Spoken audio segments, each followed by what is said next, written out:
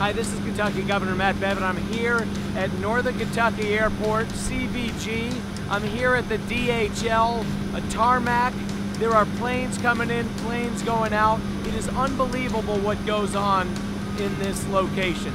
This may be the night, the day, when they will ship more than 500,000 packages right here out of this facility, DHL. This is one of their largest shipping hubs in the world.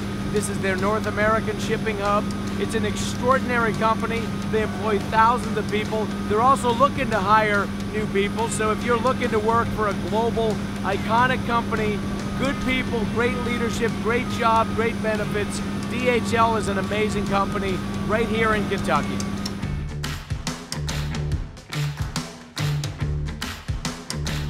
Strategically placed throughout the, the facility.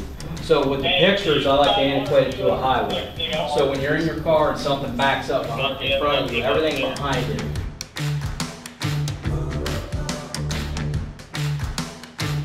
And the tilt tray is going to cycle, and when it gets to the ideal unload spot, the tray will tip over, and the package will go into an unload. So basically where you're at right now, you're at, you're in the central nervous system of the ramp operation, right? So this is this is where all the ground movement, everything that you see on the ground out here between the crews, the equipment, and the aircraft themselves are all controlled by these individuals that are in here right now.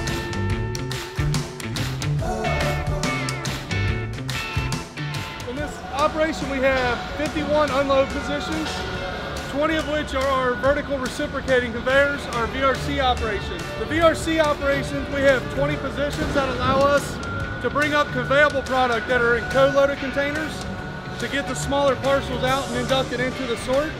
And it also allows us to get our hands onto the forkable material quicker, or the heavyweights, the big uglies. You work for an unbelievable company.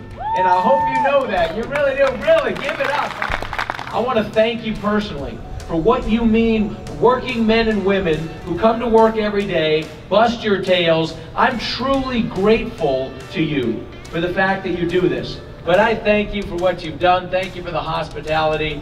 Truly grateful to each and every one of you. May God bless you. Thank you.